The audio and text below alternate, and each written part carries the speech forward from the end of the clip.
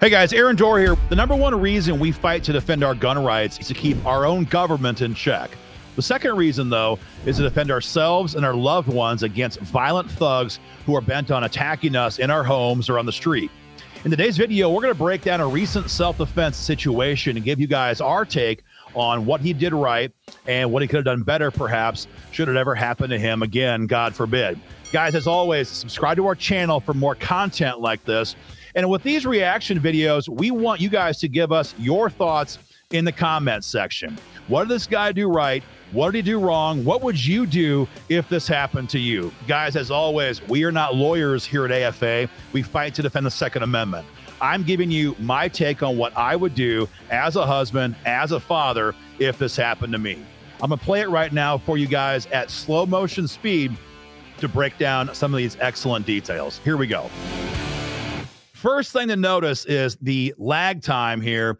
After the guy parks his car, uh, well, the guy in blue and the guy in white notice the car. Now, in the town I grew up in a long time ago in Northwest Iowa, I knew every car in my small town. So that's not how things are anymore these days. So if a car pulls up beside you and you don't know who's in it, you need to be aware of that. That situational awareness is lesson number one. Should he have backed up before the guy's door even opened? That's a fair question. I think he probably could have and should have. But let's keep going. Door opens up. The guy comes out of the car, and right about now you can see a handgun in his right hand. So from here on, the guy in blue and the guy in white know there's a fight coming. No matter what, there's a fight coming. And so we watched this video here in the office at one one hundredth speed. And from here, we could measure the reaction time from the guy in blue. Let's watch it at slow motion. Guy in blue sees the threat, begins to do what? Before he does anything else, he begins to create distance. That's obviously lesson number two. You have to have distance. Action beats reaction every single time. And so, if the guy in blue had stood his ground and tried to react right there, the guy in orange would be on top of him immediately. So, the guy began to create distance right away. Watch this. Creates that distance. But right here, Look right here. At this point, the guy in blue is backing up. He's got pretty good footwork, all things considered. But what do you see the guy in orange doing? Exactly. He is actually racking the slide on his handgun right now.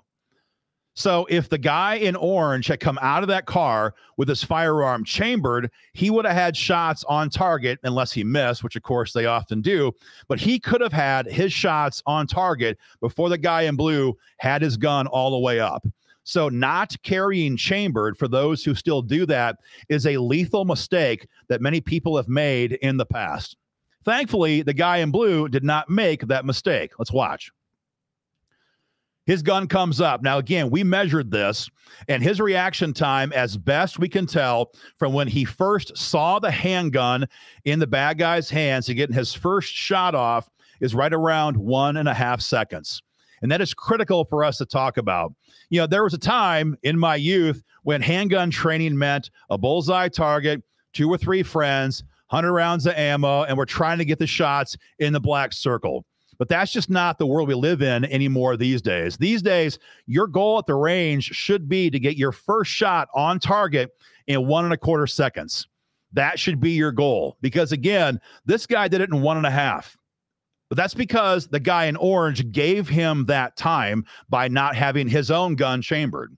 Your goal should be one and a quarter seconds. You need to have a shot timer for your time at the range. Let's keep going firing, firing, firing. Let's just stop right here for a second.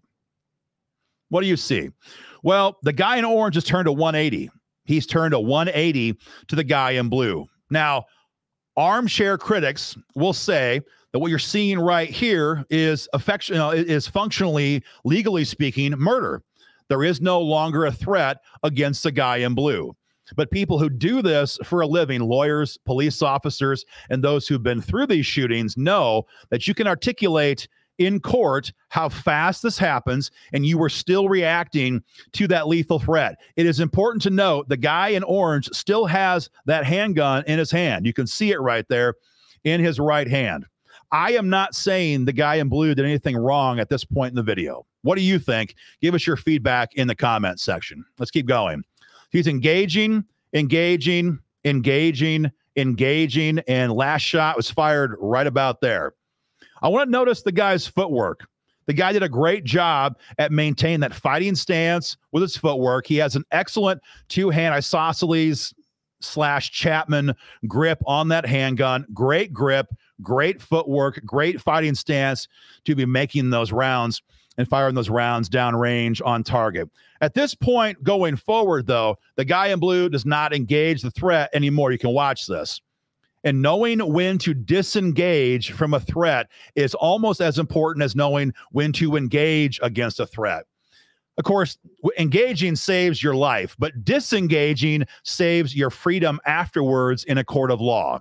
Because had this guy continued firing rounds downrange when that guy in orange and that car was a block away, they would certainly attack him for that in a court of law. Let's keep watching.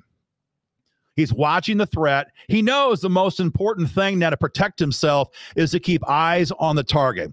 Some people would say run away, go hide, but you don't know if that threat's going to come back. You don't know if he's actually all the way left the scene. At this point, when you're actively in a gunfight, keeping your eyes on the target at all times is critical, and he does exactly that. He walks out to the street, kicks off the flip flops get a little bit better uh, footwork. That's a good thing. The tactical unload, so to speak, of his sandals.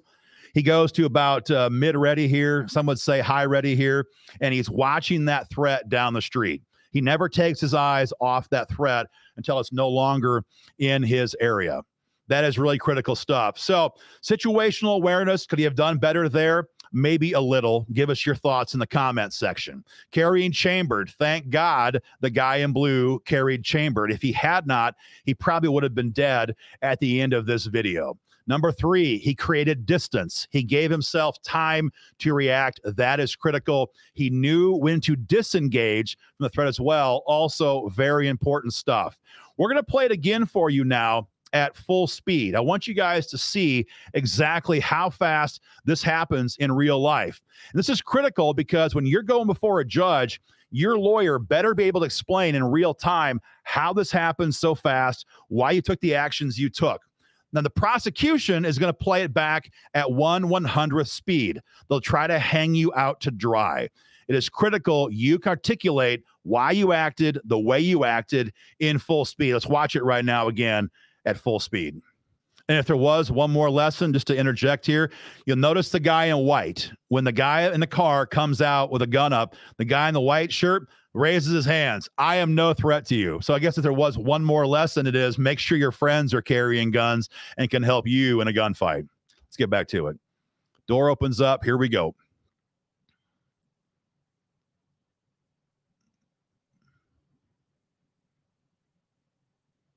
Total time of engagement from when the guy came out of the car with the gun to the guy finished his reaction is somewhere around six seconds. That's how fast it happens. That's how fast you have to have a plan in your mind in advance to stop that violent threat. Let's keep watching. He walks out here, he's watching that threat, kicks off the flip flops, and never has to re engage. Guys, that's our take on this video. What do you think? Leave your reaction, your comments in the comment section. As always, subscribe to our channel for more content and join the fight.